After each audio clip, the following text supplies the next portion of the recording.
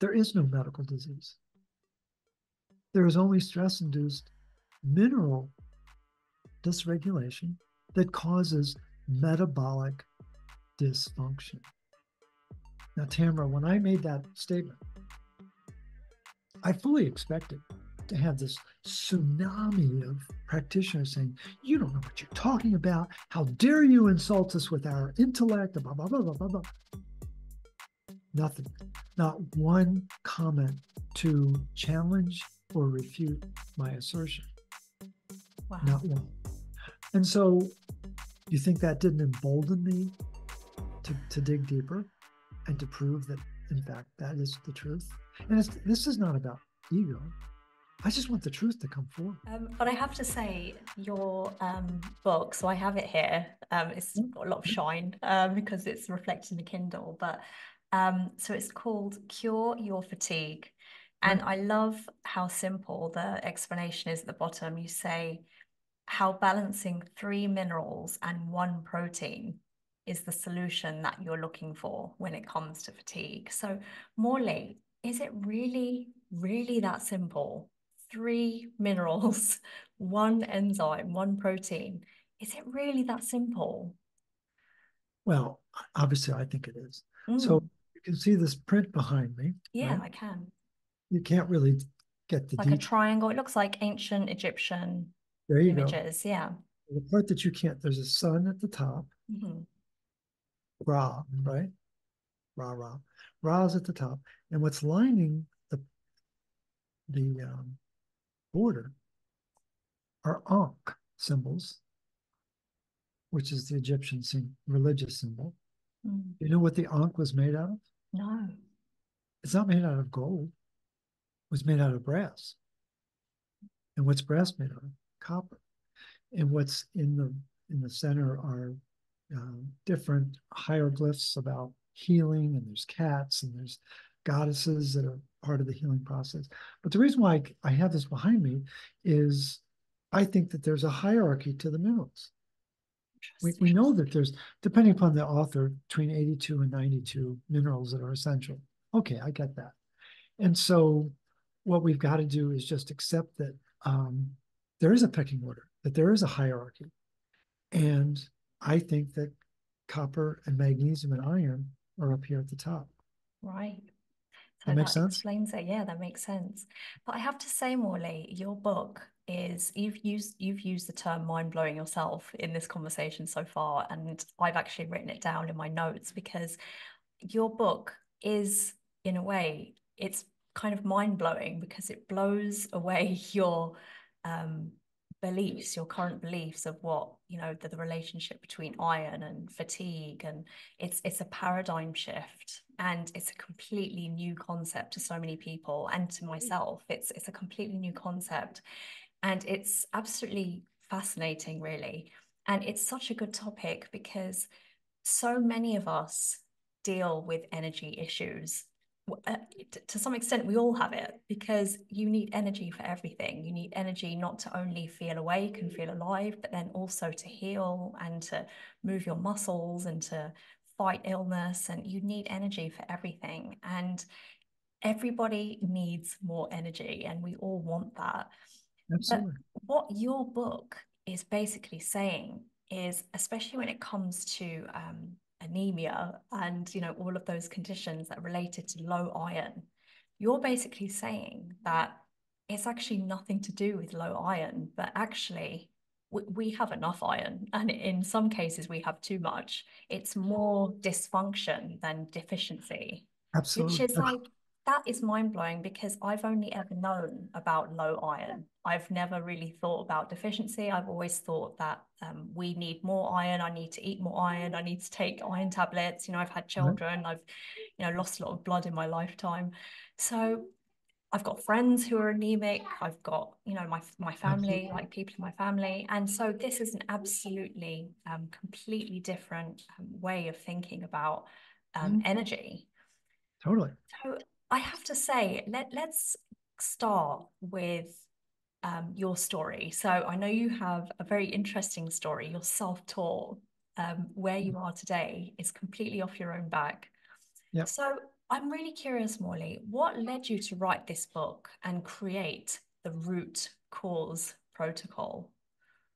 Um, well, I, as I noted, uh, I started out in a very sickly family. Mm. And my sister, my older sister, uh, who's no longer with us, she's in a much happier place, I think. Um, she became a nurse, and I was supposed to become the doctor.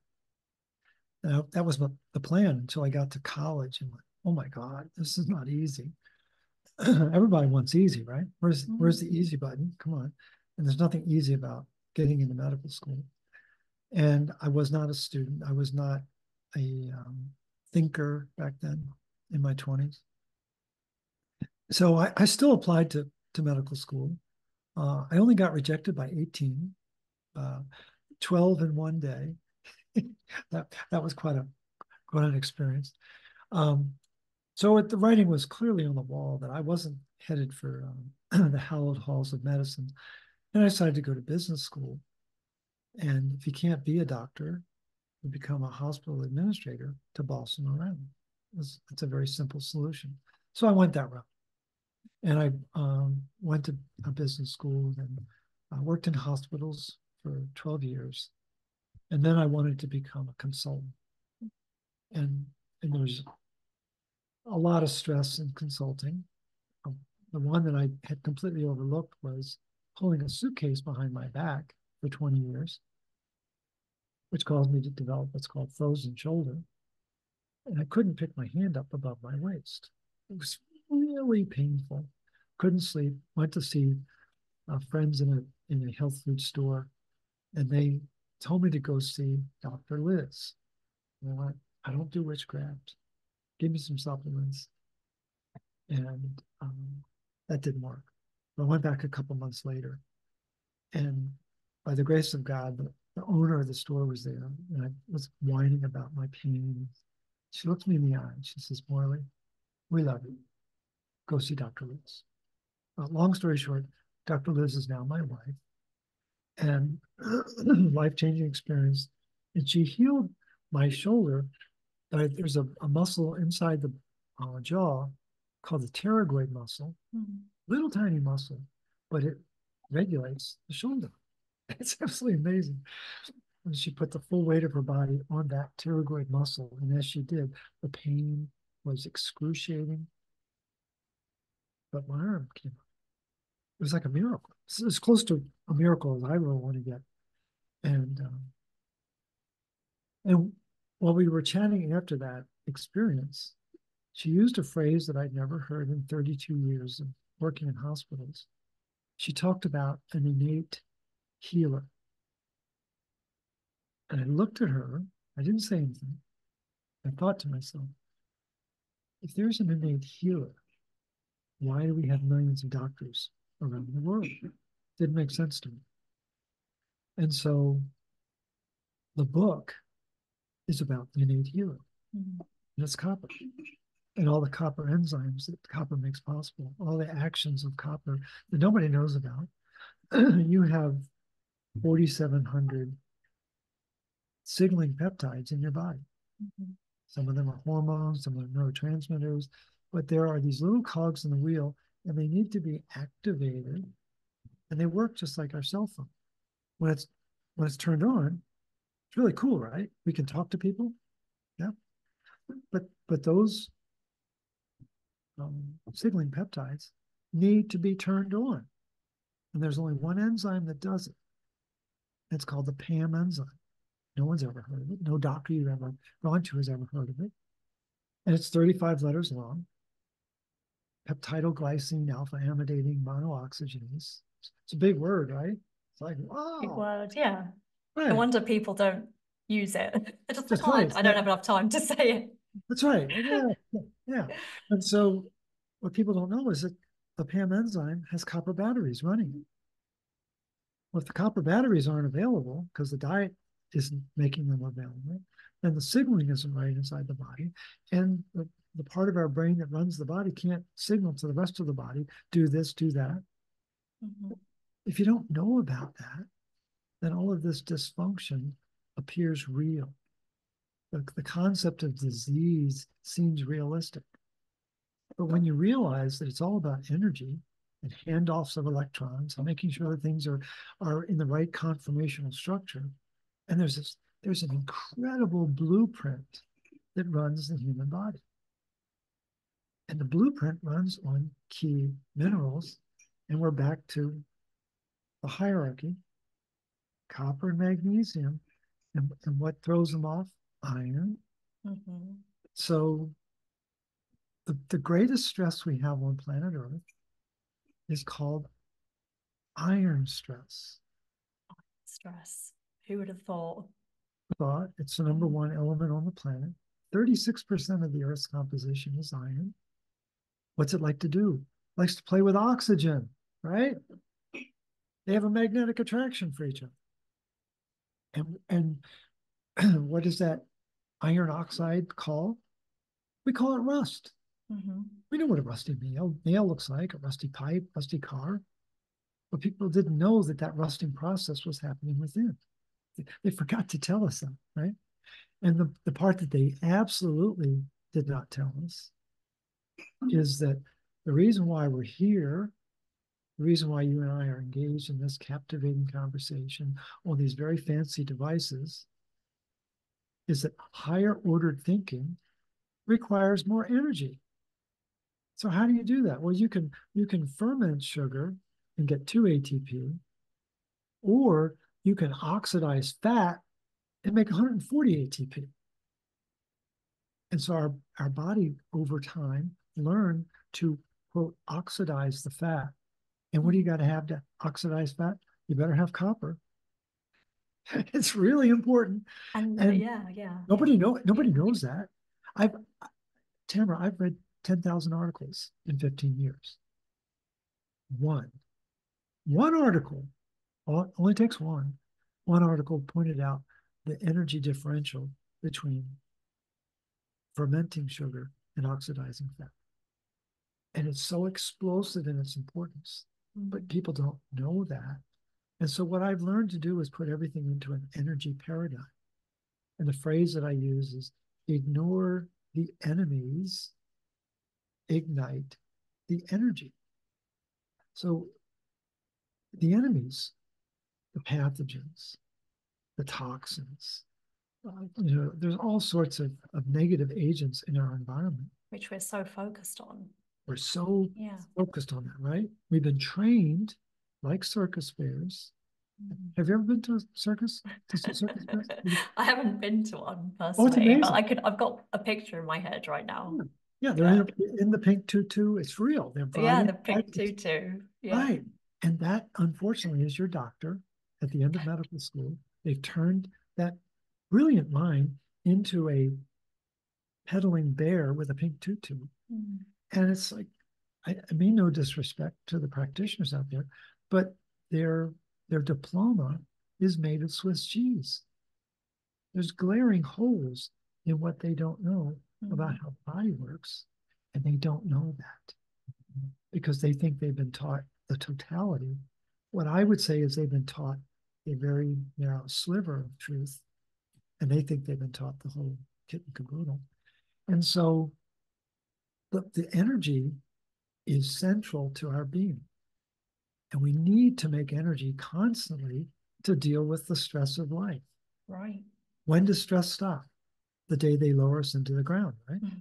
That's what there's no more stress, at least in this lifetime, right? Mm-hmm. And so we're always going to have stress. And everything changed in 2020. That was global stress, right?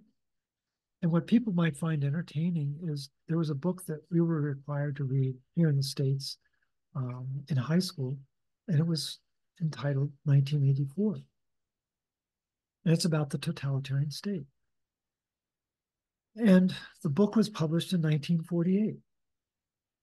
1984, published in 48. When you subtract 48 from 84, what do you get? 36. When you add 36 to 1984, guess what you get? 2020. Mm-hmm. And that's that was the start of the totalitarian state that was outlined in George Orwell's book. Black became white, white became black, and citizens became enemies of the state. Now, it was a very traumatic time, but it was just a few months in, I realized what COVID stood for. COV, coppers vanished. ID, irons dysregulated. Back to your observation. It's not, it's not a deficiency of iron, it's a dysregulation, it's a defunction of iron. And at that time, no one knew about that. They didn't know about the minerals. It's now coming to light in the research. More and more practitioners, more and more research scientists are realizing, oh my gosh, there's a there's a complete mismatch and it's affecting oxygen in the body. And the, the again, back to the importance of copper, is copper is the only element on planet Earth that can regulate oxygen and iron at the exact same time and cause no static. So And that's yeah. that's that's our gift is bioavailable copper. So if, if I'm understanding you correctly, so when iron and oxygen get together, they are um, they cause um, oxidative stress. So they basically they're they're not good for us. And um, you know, in the outside world, we see it as rust, and um, that actually happens within us as well. But when copper is present, it regulates that relationship, and it, it creates a safe um, uh, expression of the two. So when iron and um, oxygen get together, the copper kind of um, makes the combination safe and it creates safe energy without combustion. So without the kind of destructive um, oxidative stress that comes out of them when they react together. That's exactly right. Yeah. So think of it this way. There's um, you've heard of the phrase opportunity cost. Yeah. You had a chance to do something, you didn't act right, and then you lost that opportunity. That yes. was the opportunity cost. Yeah. Oxygen is very, it's the second most reactive element on planet Earth. After fluorine gas, oxygen is number two, ozone is number three. People need to know that. And 21% of the air we breathe is a poison. It's called oxygen. Right. right. We can't live without it, but we can't age without it either. And as soon as that that uh, molecule of oxygen, which is O2, it's, so it's two oxygens that come together with a very unique bond, that becomes a it's a gas mm-hmm. in that state.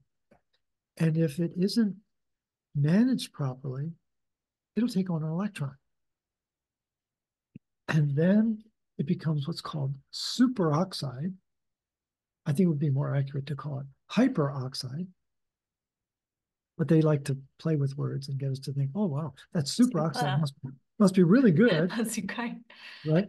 But as soon as it becomes superoxide, you can't turn the oxygen into water.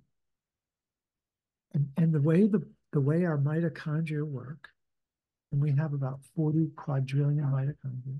So that's 15 zeros. Mm-hmm. It's a lot of mitochondria. That's a lot. Yeah. So on, on the cover of the book mm-hmm. is a gigantic mitochondria.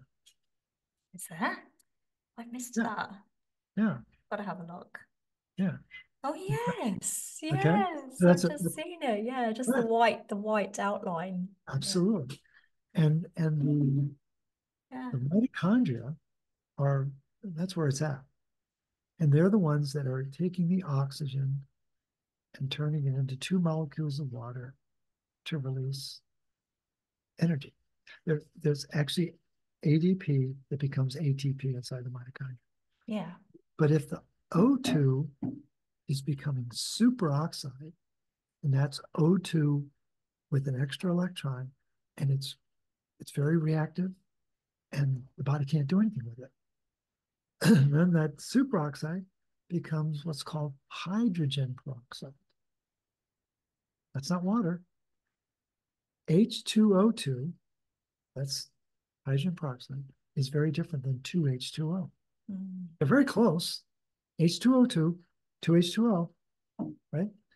And and if there was a biochemist present, like my my younger son Tom, who's a uh, PhD from Stanford in biochemistry, it's his birthday today. oh, fabulous! Happy birthday to him! Big shout out to Tom. Yeah. But if but if he were present and I put him on the spot and said, "How do you spell inflammation from a perspective of a biochemist, he'd say H2O2.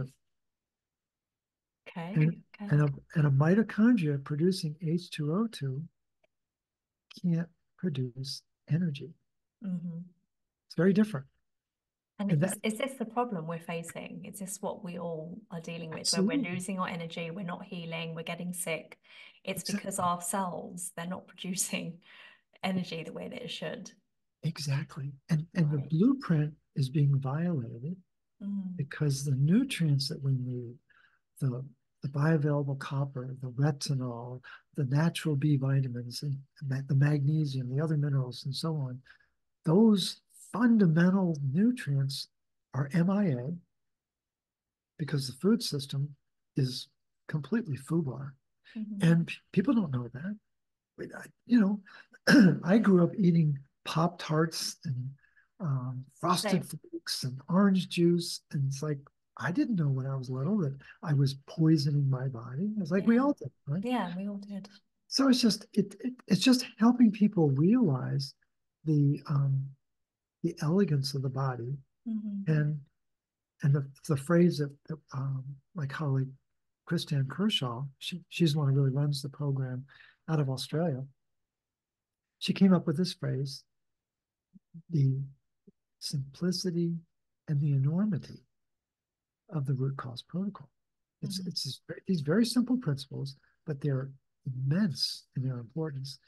And then um, this past summer, uh, my wife and I love to go to the movies, and there was a great movie about um, a baseball player named Yogi Berra. Some some people may have heard of him. He was a famous Yankee. All I knew was he was a famous Yankee baseball player. I didn't I didn't know anything about. Him. And fa- fascinating figure in, in uh, sports history. And it was his granddaughter who put together this beautiful uh, memorial to her grandfather. And he was famous for creating words and phrases. Uh, one of the, one of his famous ones was, "When you get to the fork in the road, take it." And what he was really referring to was his house was at at the center of a Y. It didn't matter which side of the fork you went, you would get to his house. So when you get to the fork in the road, take it. And but but another word that he coined that I absolutely fell in love with is the word simplexity. Mm, complexity. Taking complex ideas and simplifying. Right. So And would you say that represents the root cause protocol? absolutely, Right. it's simplicity. It's Absolutely. it's incredible because when I was reading your book, I could see the benefits and the testimonials that some of your members have had, and the range of benefits is so broad.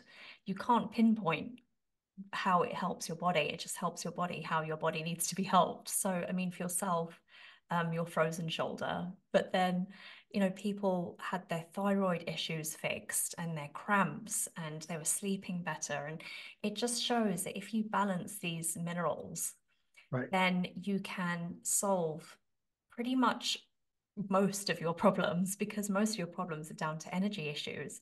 But can, can I ask you though, Morley, why do people not know about this? Why don't they know about the power of copper? I mean, there are studies from a hundred years ago, like you said in your book, Right. and it's there, like it's there in black and white in print that copper is, you know, the mineral, and that you know it's not about iron deficiency and um and, and it's it's there but why didn't we take it on board why do we still continue to focus on iron and not on copper when it comes to energy So let's let's focus on a famous experiment that was done in Berlin in 1927.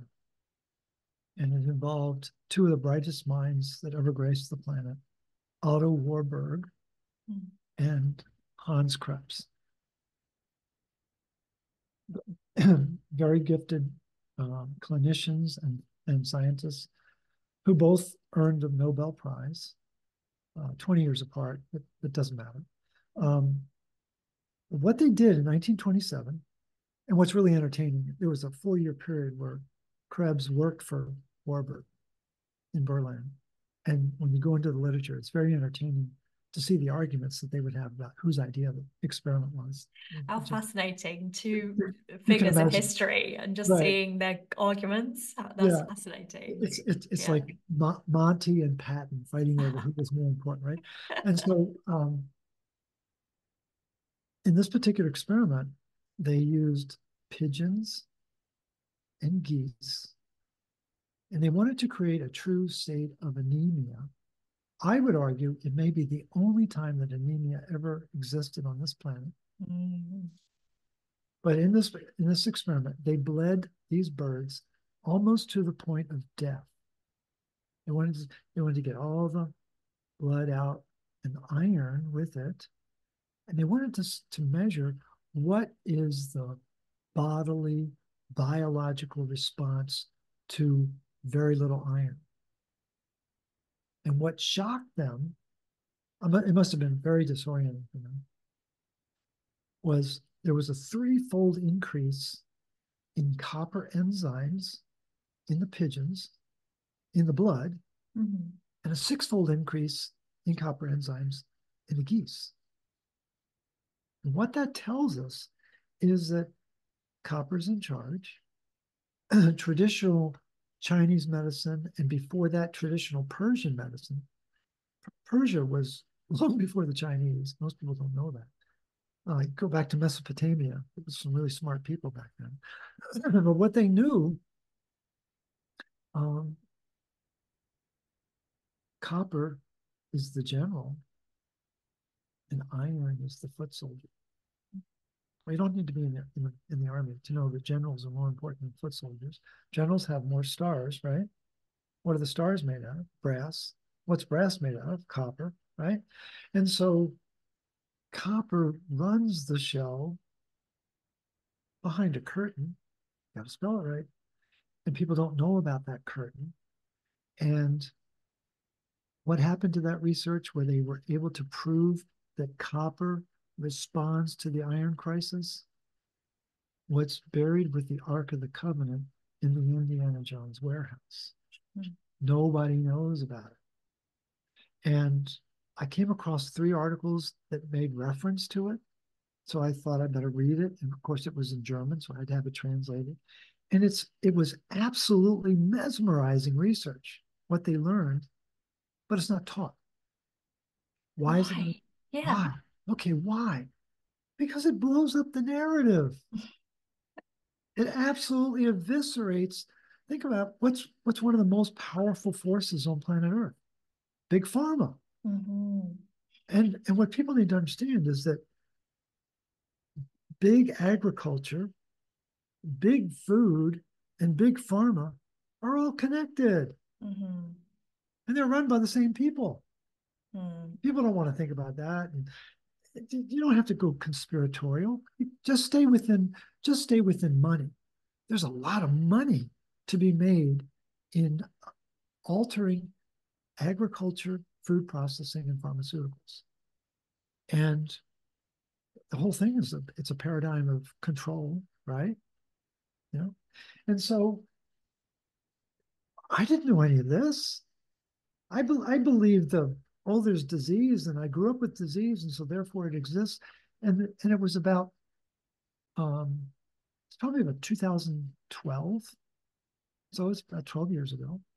I made a bold assertion on Facebook. I said there is no medical disease. There is only stress induced mineral dysregulation mineral dysregulation that causes metabolic dysfunction. Now, Tamara, when I made that statement, I fully expected to have this tsunami of practitioners saying, You don't know what you're talking about. How dare you insult us with our intellect? Blah, blah, blah, blah, blah, blah. Nothing. Not one comment to challenge or refute my assertion. Wow. Not one. And so you think that didn't embolden me to, to dig deeper and to prove that, in fact, that is the truth? And it's, this is not about ego. I just want the truth to come forward. That's that's what this whole thing is about. I I made a commitment in my 30s, about, about the age of my son Tom.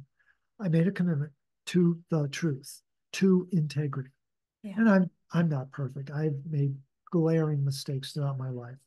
You know, but but we we make those mistakes so we can learn our lessons. Yeah. And I don't pretend to have it all figured out. I really don't.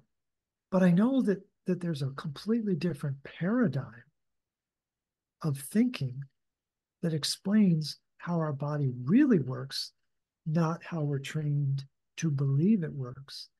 And to your earlier comments, um, root cause protocol, it's it, it's again, it's not perfect, but it's a great foundation. It's a great place to start. But there's a secret sauce that needs to be a part of that that process. And one of the most important ingredients is the individual's belief in their body's natural ability to heal itself. And if you believe that, amazing things will happen. I've had people feel completely different in 72 hours like that. That's incredible. I've had some people take nine months before they start mm. to feel it. And what's the difference? Their belief system. Wow. And so if someone believes that they can heal, you would say absolutely. that the process is a lot quicker. Yeah. Yeah. It, I, it, yeah. it absolutely is. And it's not it's not to put it in this realm of, you know, airy fairy, oh gosh. It, no, it, there's there's energy behind that knowingness. Mm. And one of my graduates is a, a physician in Texas. And she asked her, her patients now one simple question if we're able to identify, if we know every element that's needed in order to improve your health, do you believe your body has the natural ability to take advantage of that? It's a great question, really powerful question. And she finds that 99 out of 100 of her patients absolutely say yes. Yeah. And it's the 1% that struggle with it. And they're the ones that are the challenge in her practice because they, they just can't believe that their body has this innate ability, and it does. And we just need to nurture it, and we need to deal with our fears. We need to deal with our iron, and those are important components that are that are explained uh, in the book. But the the whole dynamic is around energy, mm-hmm. and when and when we're vibrating at the right frequency, you and I are vibrating everyone listening to this is vibrating. We don't really see it, but inside there's this, this constant little pulse of, of energy, right? And if it's not, if the frequency isn't right, then the health status isn't right. Mm-hmm. And it affects all the way down to the electron flow inside the mitochondria. And that's really where that's the origin of the of the dysregulation that takes place. I mean, this is so intriguing and it just makes me want to dive into okay, how do we do this? How does this work? Mm. Um, so, before we get into that, what I want to ask you about is anemia because yeah, sure. we um, obviously it's something that we are taught to believe is very common that we don't have enough iron which i found was really interesting in your book when you said how can we be low in iron when planet earth is abundant in iron? And it's like it's, it's almost unavoidable. So I, I found that really interesting correlation um, but we're told that we don't have enough iron. So, um, especially women, um, we're told, you know, because of our menstrual cycles and after we have children. And um, me, myself, I've been um, thinking I have anemia, um, that I have low iron, that I need to eat iron rich foods. I might need to get supplements at some point. Um, you know, my friend has had an iron infusion, and um, you know, it, it's it's everywhere. It's absolutely everywhere. So, is anemia a real thing? Mm-hmm. How much time do we have? so um, is it a real thing? Like what is going on? Is it a thing? Is low let, iron let, a thing? Okay, let's let's draw a distinction between anemia of iron deficiency versus anemia of chronic disease. They're very different. Those are the the scientists, the clinicians recognize those are the two most prevalent forms of anemia on the mm-hmm. planet. And what we're further trained to believe is that the anemia of iron deficiency is, is this big, and anemia of chronic disease is this big. Mm-hmm.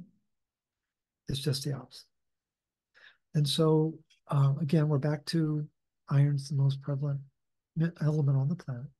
So, what it means is for you to believe that you are iron deficient, it means that um, the most evolved species on the planet, that would be humans, has lost the natural ability to metabolize the number one element on the planet. It doesn't make any sense. Mm. Most evolved species can't handle the most significant element on the planet. When I figured that out, I went, wait a minute, there's something's wrong. And um, the term anemia of chronic disease was coined in 1942 by Max Wintrobe and um, George Cartwright. And they were MD PhDs at the University of Utah. And Max Wintrobe um, actually wrote the first textbook on hematology by himself, a big, enormous textbook. He was at Hopkins at the time and then he relocated to, uh, to Utah. He was an, an absolute genius. But he was all about copper. He knew how important copper was. The part that most people don't know about is that every second of every day, every second, we need to get rid of two and a half million red blood cells that are dying. And we need to replace them with two and a half million. And the two and a half million that are coming offline are being taken care of by our spleen for the most part. And the two and a half million that are coming online are coming from our bone marrow, from our long bones, our femur, our uh, pelvic region, our hips. They are richly composed of bone marrow, which is fat, basically. Guess where 47% of the copper in the human body is found? It's in our bone marrow. 47%. 27% is in our muscles. 25% is in our organs. 1% is in our blood. That's the copper side of the house. The iron side, 70% of the iron in our body is in hemoglobin. And there's a lot of hemoglobin inside one red blood cell. Mm-hmm. And we're mm-hmm. turning over two and a half million every second. So we've been talking now for 60 minutes. Times 60, times two and a half million. Our body's been very busy making new red blood cells. And nobody knows about this. And no one's thinking about this turnover.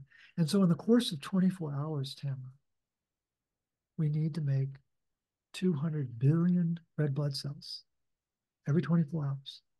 But what's going to surprise you is that it takes only 25 milligrams of iron to make 200 million red blood cells. 25 milligrams of iron, that's nothing. The average adult has 5,000 milligrams of iron. 25 is just a little tiny sliver of iron. Now, here's the part that will shock you and your listeners 24 of those 25 milligrams of iron come from a recycling system that's run by the general copper. And iron has got to be constantly recycled all day long, all night long.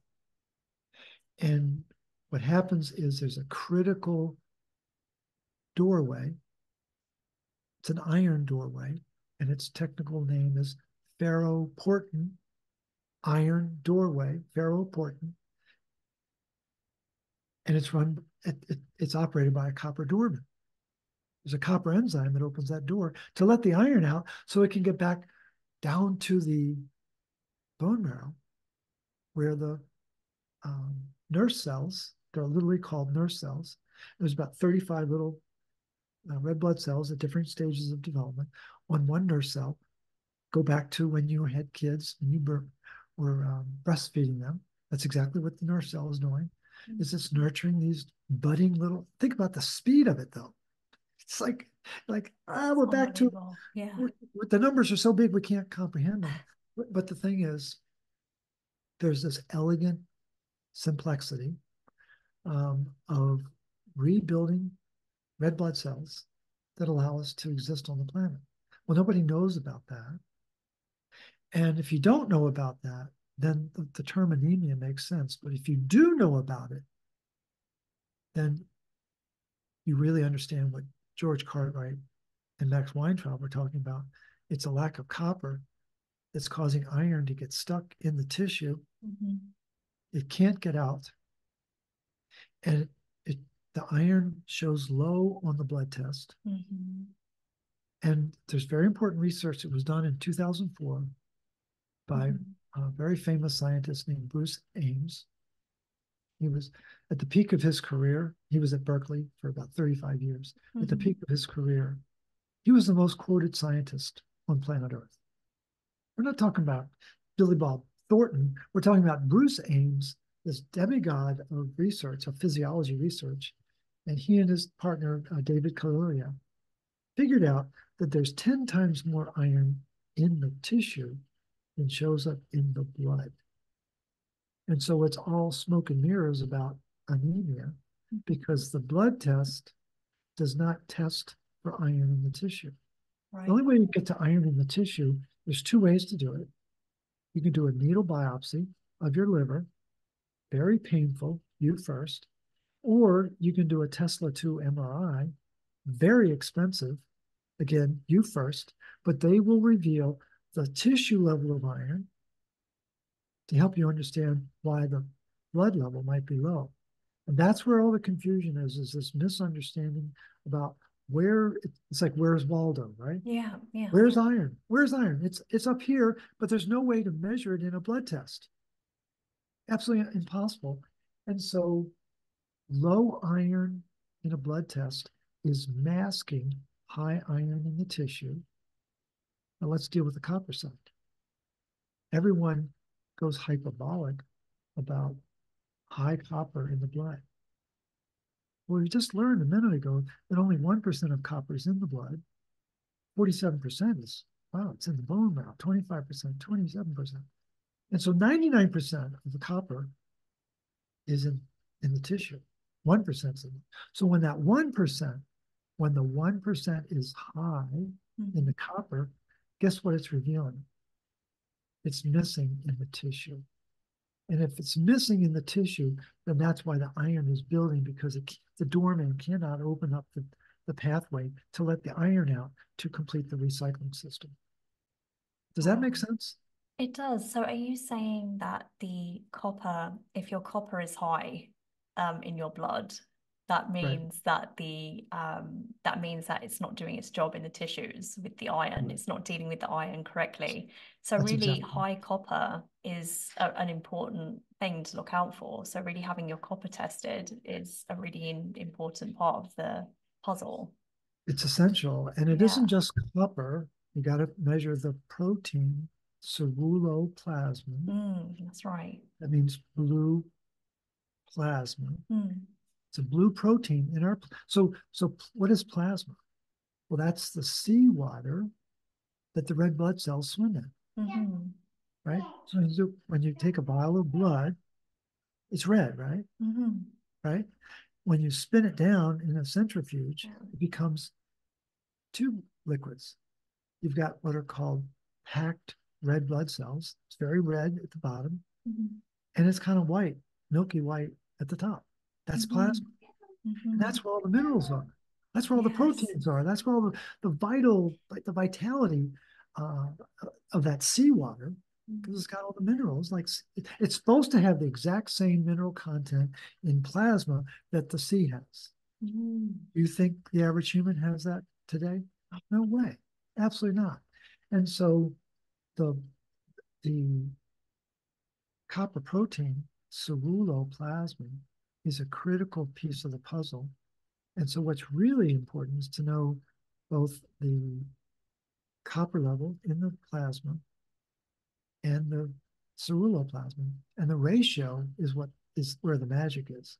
Ideally, we're supposed to have 100 units of copper Mhm. and 30 units of ceruloplasmin. And the Right. ratio is 3.33. Mm. Is Not- that not- easy to not my ask for? Is that easy to ask for? If so, if someone was to say, okay, I really want to know what's going on with my blood, I want to know um, what I need to do next. So, is it easy to ask the doctor, can I get my copper tested? Can I get ceruloplasmin tested? Is I mean, how how is someone supposed to speak to their doctor about this? It's very easy to ask for it. Should they should they and should they also ask for their iron to be tested? I mean, it seems like So know, what, so what, so what I developed here in the States, and it's actually available uh, in parts of Europe and Australia and other places. I, I don't know about your neck of the woods, but um, what it's called the full Monty iron panel, I like that. and it measures. We all need to get that done. right, Yeah. and it measures 13 different components. And when I send you the article about um, fear, I'll Mm. send you the link for the, the blood test, and you can just see what the components are. Your followers can go to their doctor, but they've got to prepare themselves for resistance Mhm. or confusion. And, and the reason why doctors are not trying to withhold information from you, they've never ordered some of these blood tests before. Mhm. And where their where their anxiety rises is they don't know how to interpret the results. Mm. Yeah, that's right. Like they wouldn't know how to explain it to you. You would be looking at a bunch of numbers and you wouldn't know what to do with it. what so the, the time frame that I use with folks is I can I can teach the average person in the public. It takes me five minutes, five minutes to explain how easy it is to to bring the body back. Mm. Here, here are the components involved. So a hierarchy, blah, blah, blah. Takes me five months to explain it to a doctor. Because we've got to tease apart their puzzle box of knowledge that conflicts with the truth Mhm. again, I'm not being critical of doctors. They know what they know.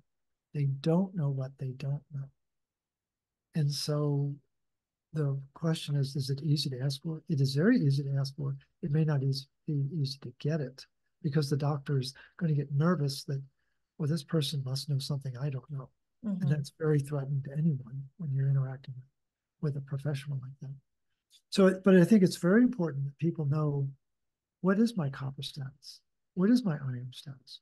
What is my zinc, my vitamin A, my vitamin D, my uric acid? I'm really, you you probably drive a car, right? Yeah, right. Yeah, right.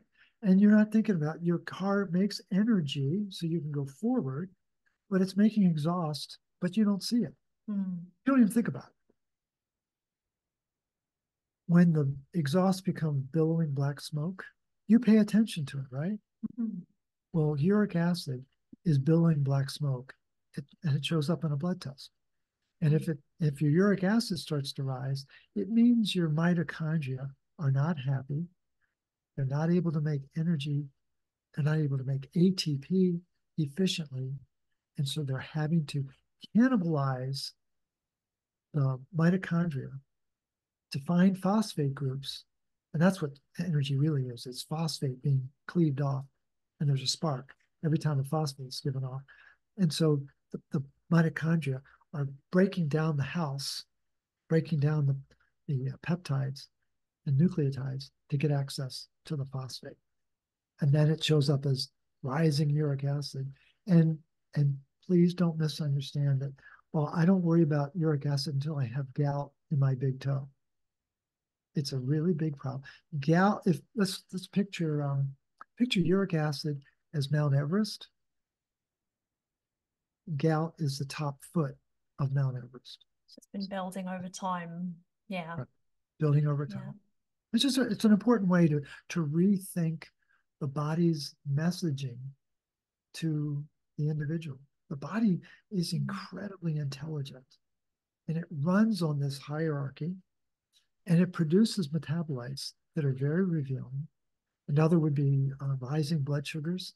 Mhm. What that tells you is you're not you're not burning the fuel properly. It's good to know that. And, and that gets into a whole nother chapter of the copper ion dynamic. But it's but I think for your listeners, uh, they need to understand that the body is incredibly endowed with intelligence, that there is a blueprint. The blueprint runs on critical minerals and, and uh, nutrients. And all we did within the root cause protocol was dust off Mother Nature and say, hey, this this appears to be really important.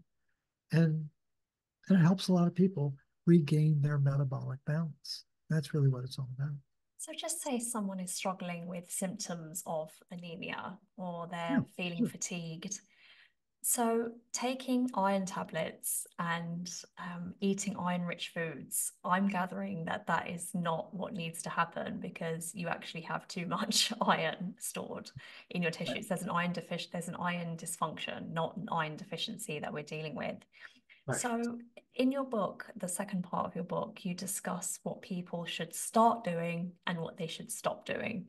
So, let's start with um, what people should stop doing. So, just say they they have symptoms of fatigue and they're like, right, I want to deal with this now. So, just say they want to get the full Monty blood test.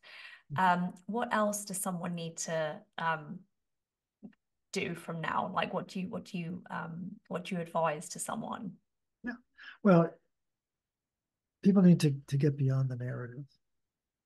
And so the narrative would tell us you need calcium, you need iron, you need ascorbic acid, you need zinc, you need vitamin D.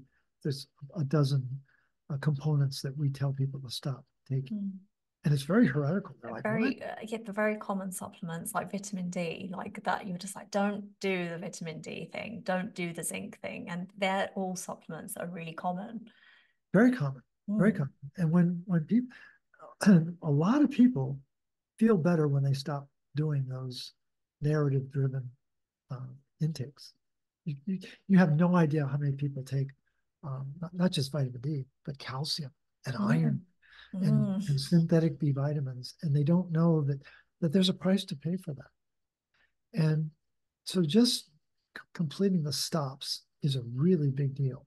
Mm-hmm. And then we have starts that are in phases. And the whole idea is just to introduce people to this powerhouse of nutrients that runs the blueprint. And we do it in phases just so people can ease into it. And the ultimate objective, the, the whole purpose behind the, the root cause protocol is to cure your fatigue. Mm-hmm. Introduce more, not just copper, bioavailable copper. So what does that mean? Yeah. It turns out that there are two very important copper pumps, and they have the initials ATP7A and ATP7B. Well, those two pumps need to be activated by retinol. Most of your listeners are eating a low fat diet mm. because they've been trained to be afraid of fat. Well, retinol is a fat soluble vitamin. And, and it likes to hang out with something called cholesterol. Most people have been trained to be afraid of cholesterol. And, and that's all narrative driven. Our ancestors, you know, according to the research of Weston A. Price, who you may be familiar with. Yes. You know, 60 to 70% of their calories were from fat. Mm butter, animal fat, animal Absolutely. produce. Yeah. Absolutely. And, and the organs that, that they contain a lot of that on retinol.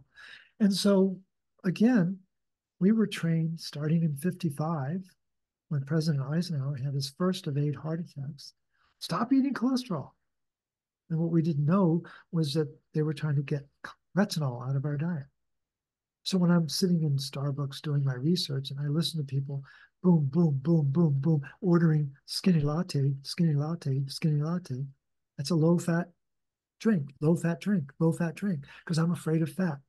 I'll give you, I'll give you a hundred dollars for every container of full fat yogurt you can find in your supermarket. Hmm. Yeah, it's it's not um as common as the half not fat, like skimmed. yeah. And the and the and the aisle that has butter in it, it's really spread. 99% of what's considered butter is actually margarine or some form of vegetable fat. It's not butter. Well, butter is very different. And so what we're what we're really seeking to do is get more retinol into the diet to run these pumps. One, one pump, 7B, is what makes ceruloplasmin. Mm-hmm. Really, I'd say it's one of the most important proteins on the planet. And 7A makes all the rest. When we were, when we were talking about the PAM enzyme, Mhm. well, 7A makes sure that the PAM enzyme gets loaded with copper. I was talking about DBM, dopamine beta monooxygenase. 7A makes sure that DBM gets copper in tyrosinase, and so on down the line. There's a whole network of copper enzymes that no one's ever heard of because copper is the Achilles heel of human physiology. So if you don't know about it, it's just a little tiny thing. Uh, we so we have 5,000 milligrams of iron in our body. We have 100 milligrams of copper. Again, we're back to generals versus grunts. Not as many generals in the army. And so when when we are missing, let's say we're missing 30% of our copper, we go from 100 milligrams down to 70. That's a 30% loss. Well, let's think about what a fever is. Normal body temperature, at least here in the States, is 98.6. When it goes up 4%, Mm. 4%, it's called a fever. Goes up to 102. That's a 4% differential. And we know how bad we feel with a fever. That's a 4% differential. And there's a, a famed copper researcher uh, named Maria C. Linder. She passed away in uh, 20, 2022. Um, she indicated in a study, in an article she wrote just about six months before her death, that she thinks that humanity is now working with 70 milligrams of copper, not 100. And that's a big deal because that's a 30% difference. So that's almost eight times the differential of a fever. And the body knows that at a metabolic level. Now, the part that you may not know about, how many how many children do you have? Two. Kevin? Two. Yeah.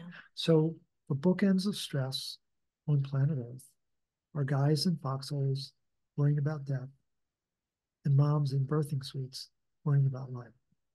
Very stressful events. Mhm. And pregnancy is stressful from stem to stern.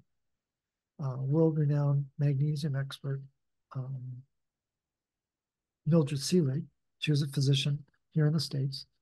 Um, her famous quote is pregnancy is a magnesium deficient state from stem to stern. Magnesium deficiency from stem to stern. And then there's a very famous uh, physiologist. Um, um, my mind just went blank. Um, so Joseph Barcroft, Yeah. he was in England. He was studying alpine physiology. But in his later years, he was studying pregnancy because the hypoxia of being at the top of Mount Everest is identical to the hypoxia of a fetus inside the mother's womb. Mhm. There's very little oxygen inside the womb in the first trimester. And there's only 8% before the baby is born. So it goes from 1% all the way up to 8%. What his famous, famous saying is pregnancy is Mount Everest in utero. And it's very powerful statement. And what most people don't know, especially women who are pregnant, is that in the third trimester of the pregnancy, they're getting the baby ready to become a aerobic mammal. Mhm. So the, the fetus actually starts out as a parasite. That's a fact. What, a, what do parasites live in? Hypoxia. They Mhm. don't want oxygen. And and then in the last trimester, there's an enormous download of copper from mother to the baby. So your your liver going through the placenta is downloading copper into the baby's liver. So you and I as adults have livers that have about seven milligrams of copper. It's not very much. It's a little tiny bit of copper. But when we were born, assuming we were born to healthy moms, Mine is questionable, but maybe yours is better. But so me, it was everything went according to plan. We were born with livers that had 70 milligrams of copper. Wow. And the energy deficit that, that mothers have after they deliver, the depression that they have, the dysregulation that they experience is because most women today don't have enough copper for the first baby. And then they have two, three, four, and they're just their copper reserves depleted, exactly yeah. depleted. And mm-hmm. then what happens? Copper's down, and there's a biological response in the body. Iron accumulates in the tissue. Mm-hmm. But you don't know about that research from 1928. March at the University of Wisconsin, May at the University of Kentucky. Famed research that explains that there is this axis. Copper's low, iron's high, gets stuck in the tissue. They've known about this for almost 100 years, Tama. Mm-hmm. It's just not being taught. Right. And so the anemia is a head fake because they they want you to believe it's anemia of iron deficiency when in fact it's more likely anemia of chronic deficiency. And when does anemia of iron deficiency really take place? If you've been in a car accident and you're bleeding out. Right. Or you're a pigeon or a goose yeah. in a famous lab in, in Berlin. But the average person, no.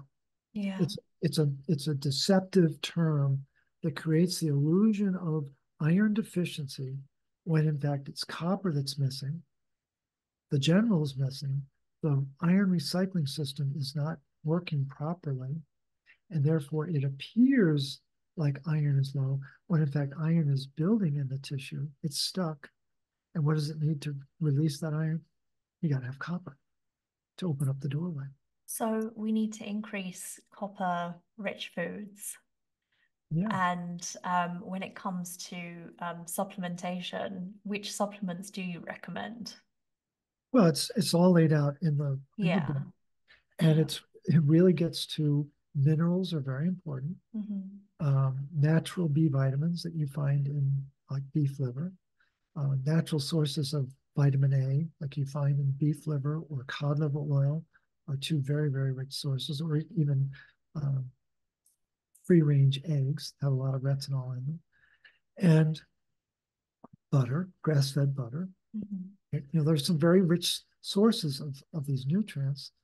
And what I also recommend now I encourage people. I when when when the world started to change in 2020, and I realized what the what the conflict was on a mineral level.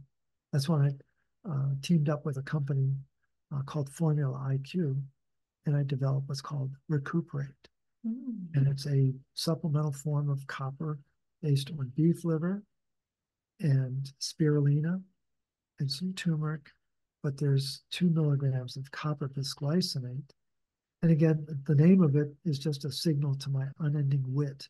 Recuperate and get people to realize that that even with a even with a nutrient dense diet, even with an organic diet, we don't realize how compromised the minerals are in our soil. Mm-hmm. And so the whole purpose behind recuperate is give people a fighting chance to yeah. restore the, the blueprint in their body, to restore energy to restore homeostasis.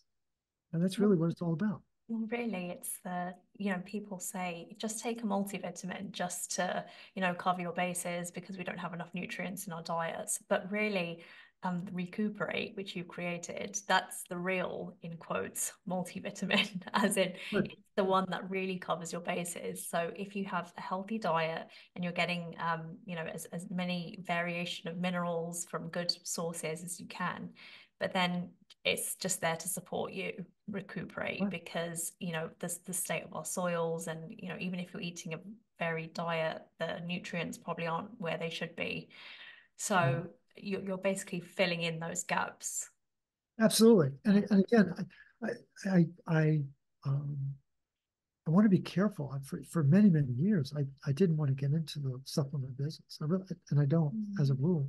I don't want people to think, oh, he's just a supplement whore now. Yeah. I'm just trying to help people regain their mojo. Mm-hmm. And I'm very proud of the of the product. And, and Mike Casey at Formula IQ is the genius behind it, and he deserves the the acclaim that he will, he will receive in his lifetime. Um, but it's just people need to realize that the the environment is more compromised than we realize, mm-hmm. and the narrative is absolutely demonic. There's no other word for it, and I don't want to make people uncomfortable, but when I was growing up, I grew up in a in a Christian household, Episcopal household, and I didn't believe the Bible. I, I didn't mm-hmm. believe there was evil. I I read the Bible. It's pretty pretty wild story if you've ever taken the time to read it. But it, when did I start to believe in evil? About 15 years ago when I started doing this research. Wow. It's undeniable. Mm-hmm. The alignment of the insanity is it's like and my roommate from college great guy he said morley don't don't don't go to conspiracy. Just tell people that, that people make more money when we're when we're not well. I said okay dave that's that's fair. And let's just leave it there. We don't need to get into this like into the powers that be and yeah yeah uber frightening sense of of uh elite blah blah blah blah. But just know that there's some very amazing synchronistic events happening. And all we're trying to do, again, we're, we're aware of the TV show out there, the video game, mm-hmm. and we're just trying to make it so that people can deal with their stress so they can learn their lessons. That's mm-hmm. really, and, and, and be of, available and of service to their fellow man. That's really what it's, that's all it is. What's it all about, Alfie? Well, that's it, right? You know, right there. I mean, this is the perfect time to just ask you, where are you going next? What's next for you? Um, great question. uh, I I got a call from a film producers who did the movie The Secret. Yes. And, Don and Melinda Boyer, and um, they've done uh, 18 other films since The Secret. And the one that they are focusing on now is called beyond physical matter. And a couple of people from The Secret are in it. Um, uh, Joe, Joe Vitale is one of them. Um, oh, I love him. Yeah, I did. I was I was just honored to be, you know, yes, the in same. The same. Yeah. So I'm so I'm one of the I'm one of the dozen people profiled in this movie, and the the premiere was just um, about ten days ago in, in Los Angeles. That that's a, a trip in and of itself. But um, what's it what's next? My goal I, I, don't care about being in the movie. It's it's an honor. I'm i'm really it's it's really it's really like that's me. And then moments over. That's, that's the me. 15, the 15 seconds have, have, yeah. have, have flown by. I want to i want to have a conversation a really meaningful conversation with someone like uh, a, a, Joe Rogan or a, um, mm. um, um, uh, Gwyneth Paltrow or someone yeah. who who's on an international level. Yeah. Um, and just explain what you and I are talking about in a relaxed setting, that there's more to the story. Yeah. And what's next is I I I believe there's enough people on the planet who are looking for the answer, looking for the next dimension of truth. And if I can help facilitate that message, mm-hmm. that would be my honor. And and it isn't about me. It isn't about my ego. It's about the truth. Yeah. Coming forward to help people deal with their reality. Like I would love to have a conversation with Tucker Carlson. Would that be a hoot? I mean, wow. j- just to because because these are people who are the, the people I've identified are people who are really willing to get under the covers and get into the, the weeds of what's really going on. Nobody understands minerals. Mm. Nobody knows that yeah, the, nobody talks about it much, do they? No. No, no, and, and no one realizes how powerful these minerals are. And, and what, what are the minerals really doing? Mm. Minerals are running the microbes that are running the planet. Mm. And, and, my, my colleague, Martha Carlin, uh, who's just absolutely brilliant about the microbes, she is the is to the um, micro, microbiome what I am to the mitochondria. And um, it's just so important to realize that the, the world as we know it runs on the back and the machinery of microbes, but they've got to have minerals to do it. Yes. And so it's a it's a uh, a fascinating journey to go into the uh, the real uh, mechanisms of how physiology works, mm-hmm. how our energy paradigm works, how our vitality uh, is sustained, and it's just fun for people to realize that that there really is an answer, that there really is an explanation. Because you want to have fun with your doctor, just really seriously, go yeah. have fun. Ask them how energy is made in the body. Second question Ask them how blood is made in the body. Mm. Third question ask them how the hormones communicate with each other. Because they're all signaling peptides. And they got to have, they got to be turned on. they're not turned on, they don't work. And so it's real important to know those are three very simple concepts that run the show mm-hmm. on every level of life on the planet. You got to make energy, you know, if you're if you're of, of animal origin, you've got to make blood because what's blood doing? It's carrying oxygen, yeah. carrying carbon dioxide, and it, it's a waiter. Yeah, so I was going to say a waiter. You resembled one just then. but here, but here's the part that everyone misses, Tim. When when you're looking at conventional medicine, all the spotlights are in the kitchen because the what's the kitchen? That's the that's the mitochondria. The mitochondria on the outside of the book is, is the kitchen of our cells. Okay. And what does every kitchen have? A stove. Mm-hmm. And what is every stove made out of? Iron, steel, right? Here's the catch. Does the stove know what's for dinner? Does the stove know what temperature to turn the oven on? Does the stove know which pot to put up on the range so it can be, you know, right, to cook mm-hmm. the vegetables or whatever you're going to do? every kitchen has what? Chef. A, a chef, right? But I also call them cuisine artists. Spell it right, C-U hyphen, so you see the copper. And, and it turns out inside that mitochondria, inside that my the, the mitochondrial kitchen, there's a complex. It's complex four. Its formal name cytochrome C oxidase. Ooh, that sounds really scary, right? Cytochrome just means it's got color. Oxidase means it works with oxygen. Who's running that complex? Well, there's two heme molecules, heme A and heme A3, made of iron. Thank you very much. And what are they? It's a stove that holds oxygen and then the cuisine artist, copper, slices and dices the O2, turns it into two molecules of water, 2H2O, that release, releases three molecules of ADP, goes over to complex five that's spinning at 500 revolutions per second. I'd be impressed if you could do a pirouette, one pirouette in a second. Maybe you could do two, right? 500, 500 revolutions per second. And what's it doing? It's turning ADP into ATP. And who's the battery pack in that system? Copper. And nobody knows that. You can't you cannot turn ADP into ATP. AD as in David, into AT as in Tom, unless you have copper. And so it's like, imagine, let's trade places for a second. Imagine you know what I know. How do you think it, what, what do you think the day is like? Having to deal day in and day out with people worrying about disease, people worrying about their broken body, people worrying about what their doctor just told them. When in fact, we were endowed by our Maker and Mother Nature to be sovereign beings, mm.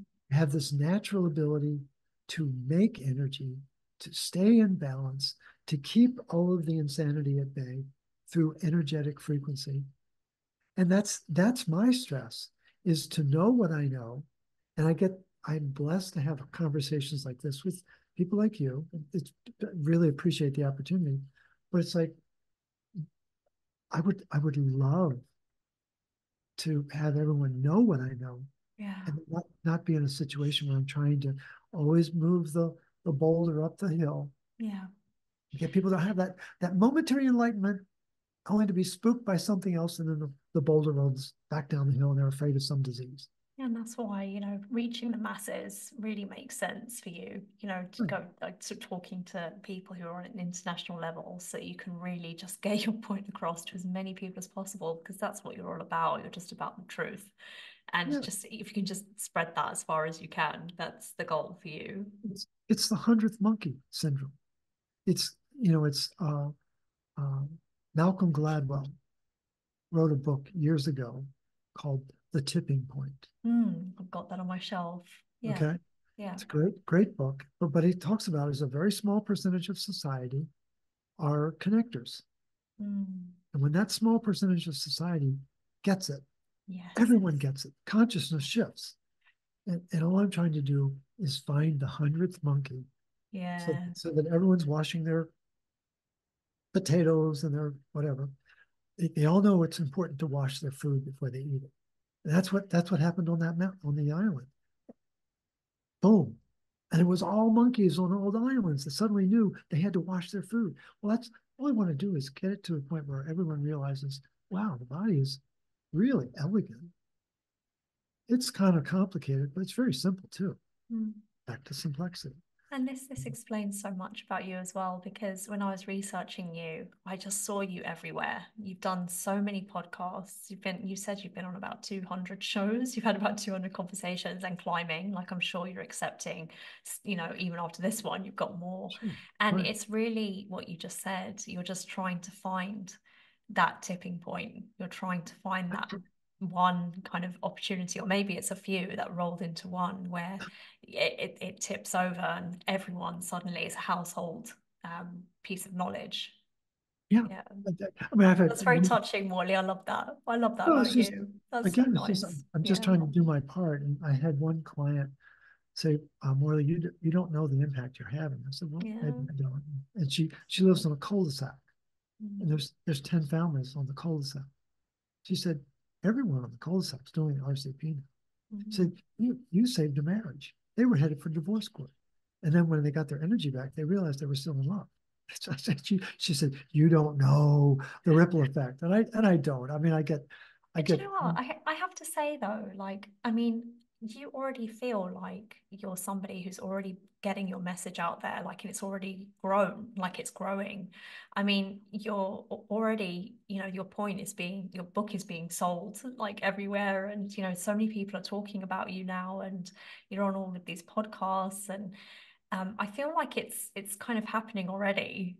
Maybe you're not seeing it right. as, for what it is. Again, that, bro- that broken patience gene. Right. No, it's just, again, it's like, Yeah. I'm not getting any younger, right? Sands of time are working their magic. And that's fine. I, Mhm. I, I'm blessed with energy. I'm blessed with recall. I'm blessed with able to connect dots and love to start every day uh, digging in the research. And it's just, it's something that's what drives me. Mm. I, I really, um, I look forward to the time when I can say, okay, we turned the corner.